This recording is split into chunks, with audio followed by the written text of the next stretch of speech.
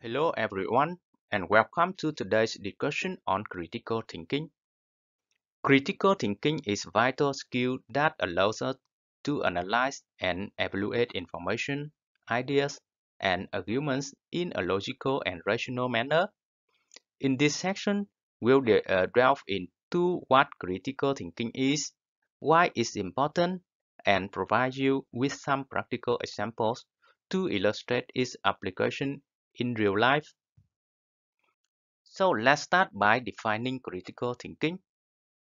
Critical thinking is ability to objectively assess, analyze, and synthesize information before forming conclusions or making decisions. It involves looking beyond the surface level of things and considering different perspectives, evidence, and implications. Critical thinking is about question, questioning assumptions, recognizing biases, and understanding the logical connections between ideas. Let's take a simple example to illustrate, uh, illustrate this. Imagine you uh, you presented with a news article claiming that a new miracle product can help you lose, lose 10 pounds in a week without any exercise or diet changes. A critical thinker wouldn't, uh, wouldn't uh, just accept this claim at face value.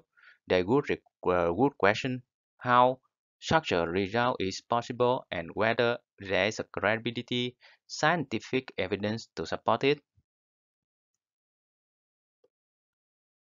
Critical thinkers are often skeptical, but their skepticism is grounded in a desire for in a desire for evidence-based reasoning Another aspect of critical thinking is the ability to identify logical fallacies. These are errors in reasoning that can uh, weaken an argument. For example, the appeal to authority fallacy involves accepting a claim simply because someone in authority says it's true. A critical thinker would recognize this fallacy and instead seek out uh, supporting evidence. Let's consider an everyday scenario: purchasing a new smartphone. Without critical thinking, you might be swayed by flashy advertisements that boast the phone's uh, superiority. However, a critical thinker would research beyond the ads, comparing features, reading reviews, and considering their personal needs before making an informed decision.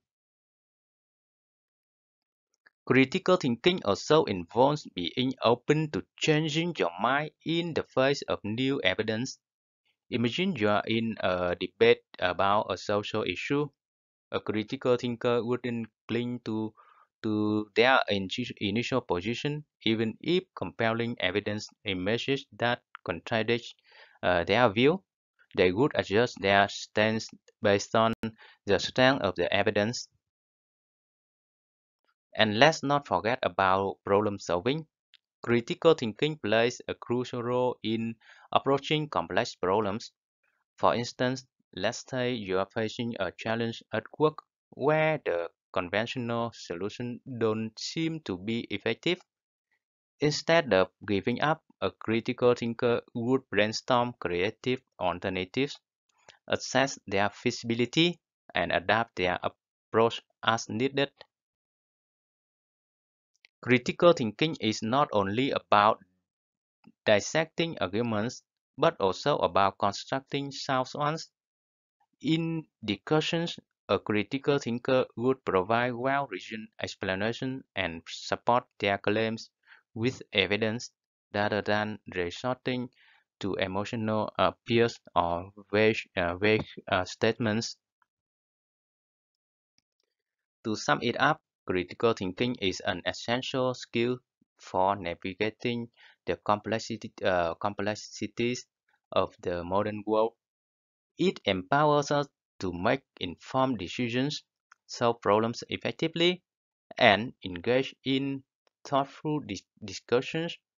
Remember, it's not about being critical for the sake of it, but about being discerning and thoughtful in our approach to information and ideas. Thank you everyone for joining this uh, enlightening discussion on critical thinking. Remember to challenge assumptions, seek evidence, and embrace the power of rational thought in your daily life. In the next lesson, we'll talk about strategic thinking.